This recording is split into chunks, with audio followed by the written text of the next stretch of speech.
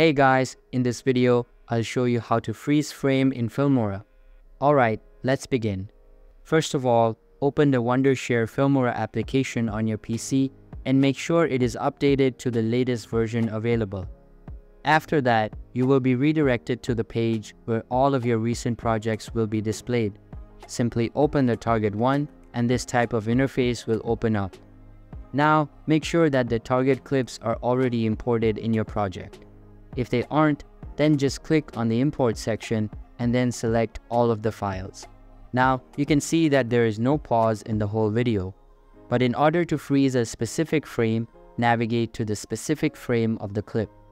Once you are there, right-click on the video layer and select the Add Freeze Frame feature from the menu. You can see that this specific part is now frozen. In order to increase or decrease it, click and drag the right handle located at the top. If you drag the left side handle, then the speed of the video will get affected. So make sure to use the one that is required.